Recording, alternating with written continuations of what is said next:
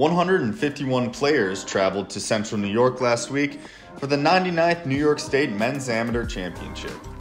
They converged on Onondaga Golf and Country Club for a shot at the Ganson Depew Cup. Over three days and four rounds, the winner would be decided in record breaking fashion. In round one, Dante Grapuso fired a 67 to take a share of the lead. He would be joined by Patrick Healy at the top at 4 under.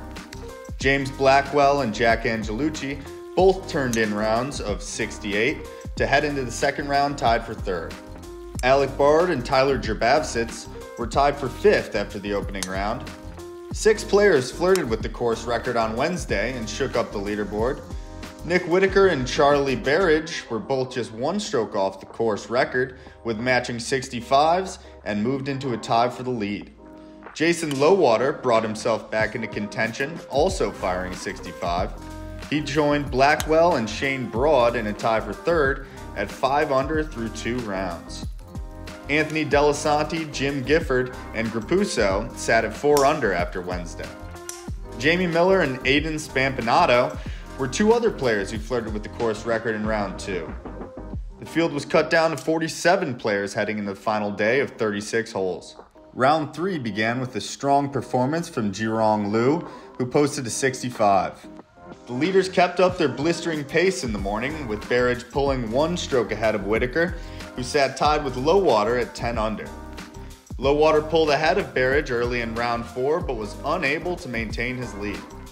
Berridge put together a string of birdies, with a birdie on the par 4 16th to seal the deal. His 14 under performance broke a record for the lowest score to par in the New York State men's amateur. Lowwater earned runner up honors at 11 under. Whitaker took third place at 7 under, followed by Broad at 6 under. In a tie for fifth was Matthew Ferrari and Blackwell, who finished at 4 under.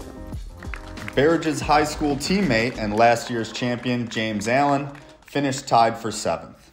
It felt great. I mean, I was super proud of Jay when he won last year, and kind of coming here thinking, you know, it'd be, it'd be nice to to have back-to-back Scarsdale High School guys win.